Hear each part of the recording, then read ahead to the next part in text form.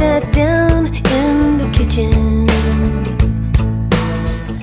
She opened a book and a box of tools. Sunny came home with a mission.